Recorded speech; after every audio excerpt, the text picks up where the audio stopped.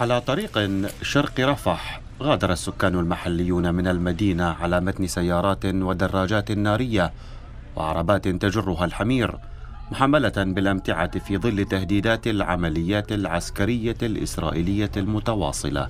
ووفقا لتقديرات وكالة الأونروا فر حوالي 150 ألف شخص من رفح بحثا عن مأوى منذ السادس من مايو الجاري. معظمهم متجهون إلى خان يونس في جنوب قطاع غزة ودير البلح في وسط القطاع. لكن قالت الوكالة إنه حتى أماكن مثل خان يونس تفتقر إلى الأساسيات اللازمة لتزويد الناس بالغذاء والمأوى والرعاية الطبية. بسبب التهديد الإسرائيلي بالعملية العسكرية التي انطلقت منذ أيام هنا بدأت العائلات بنصب خيامها. هذه العائلات كغيرها من آلاف العائلات. التي تعيش ظروفا صعبة وبدأت بالنزوح لأول مرة. بل ومصيرا مجهولا. هذه العائلات التي تسكن تلك الخيام تفتقر لأدنى مقومات الحياة الطبيعية. كانت عائلة أحمد المكونة من عشرة أفراد والتي فرت من وسط غزة إلى شرق رفح قبل شهرين. أقامت منزلها المؤقت هنا بخيمة. لكن الآن تم تعبئة ما يسمى بالمنزل في أكوام من المراتب وأكياس الملابس وطاولات وكراس قليلة ومقال متبقية والتي كان أحمد يحملها على شاحنته شيئا فشيئا. قرر أحمد جلب عائلته إلى ما يسمى بمنطقة المواصي الآمنة لكنه لم يكن لديه أي فكرة.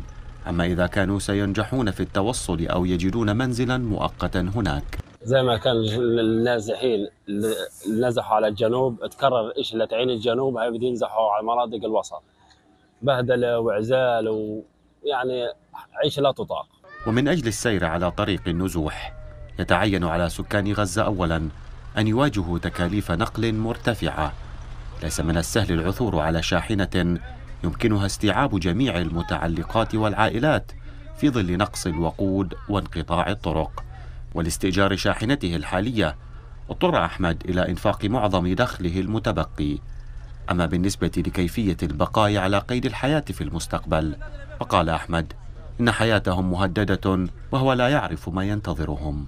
الاكل والشرب والطحين الموجود معي بكفينا فتره أسبوعين ثلاثة.